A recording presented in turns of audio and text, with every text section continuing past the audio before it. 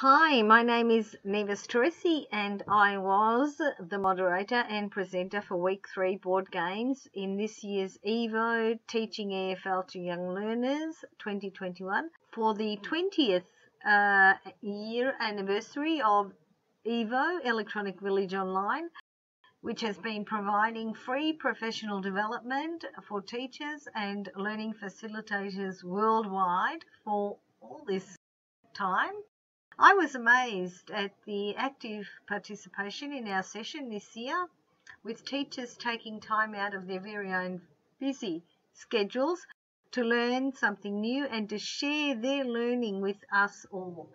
One of the highlights for me was getting some positive feedback by the participants.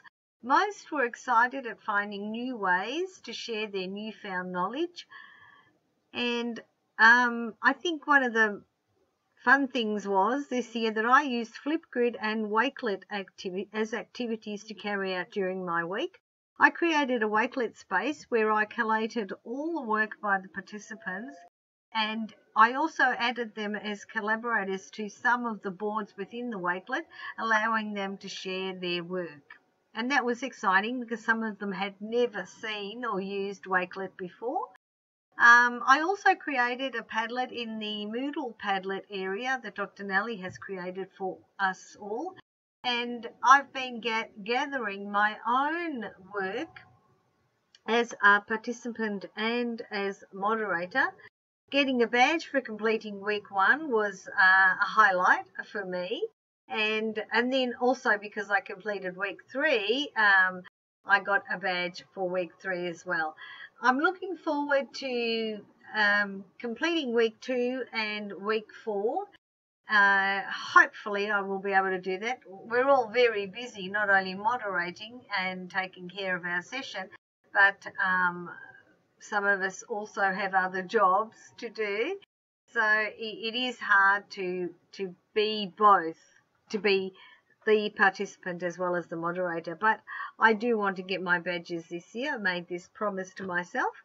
Um, I also um, want to say that one of the most important moments for me was the realization that being online in a learning environment means that learning takes place harmoniously together where not, not just participant but also the moderator are learning together.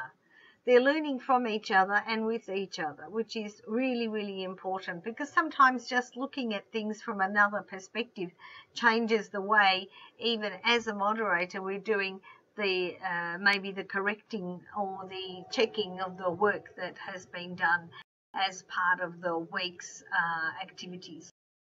So, uh, with that said, I'd like to say thank you to all the EVO coordinators for creating and continuing this wonderful opportunity to continue working and learning together, giving us this opportunity online.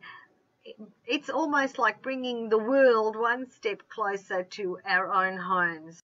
And also a very, very special warm thank you to Dr. Nellie for providing the Moodle site for our session and also for being a very much there uh, behind the scenes mentor to us all in uh, that worked in the Moodle and I think uh, as moderators and also as um, participants.